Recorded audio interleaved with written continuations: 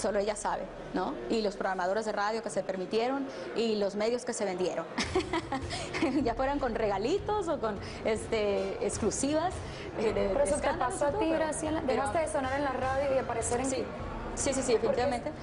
Yo tuve varias experiencias donde, donde ella me, me quitó eh, mis días de trabajo. Sí, incluso una semana antes de fallecer. Estas fueron las fuertes declaraciones de Graciela Beltrán cuando le preguntamos si eran verdad los rumores de que Jenny Rivera pagaba para que las canciones de algunas cantantes no sonaran en la radio. Suelta la sopa habló con Miguel Torres, último promotor radial de Jenny Rivera, quien nos aclaró si es verdad este escándalo.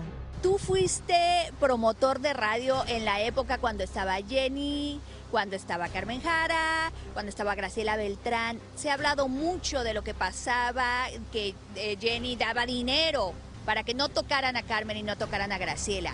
Eh, sí, se ha comentado mucho, mucho de eso, de que Jenny daba dinero para no, no tocar a nadie más. Eh, y al final, pues ese ataque independientemente sea contra Jenny, pues es contra la gente que hicimos esto. Y al final es contra mí. Entonces, yo conozco a, Carmen, yo conozco a Graciela. Entonces, si en su momento eh, quien haya sido tuvo la fortuna de ser tocado, pues se hacían buenos acuerdos para ganar todo el mundo.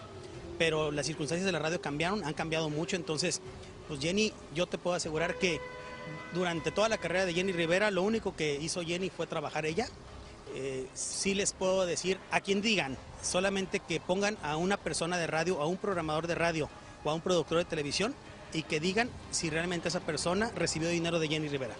Jenny nunca dio un dinero, claro que en este negocio tú sabes que hay que hacer muchos acuerdos de promoción y ahora sí que el que hace mejores acuerdos es el que está más tocado. Yo te puedo asegurar que durante toda la carrera de Jenny Rivera lo único que hizo Jenny fue trabajar ella eh, si se sienten, quien se sienta eh, ofendido porque Jenny estuvo en un lugar muy grande en la música, pues bueno, pues ahora sí que qué tristeza.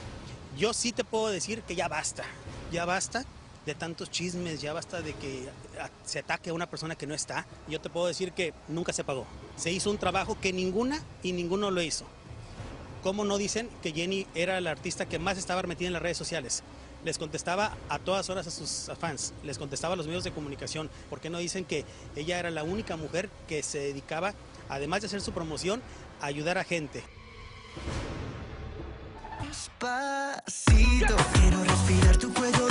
Deja que te diga cosas al oído. El video cuenta ya con más de 34 millones.